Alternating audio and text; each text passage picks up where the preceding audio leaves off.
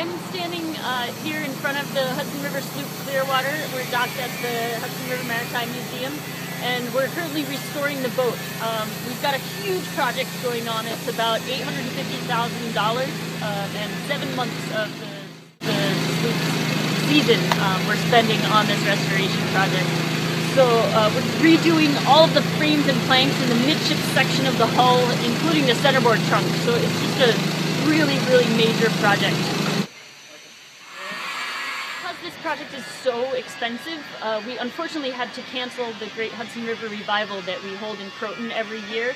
Um, we plan on holding it in 2017. Uh, however, this year we plan on having monthly concerts as a fundraiser uh, for Clearwater and as another way to celebrate the music that Clearwater is really based on. This hugely expensive project uh, will not happen unless we continue fundraising, so if you would like to donate to the project, um, visit clearwater.org.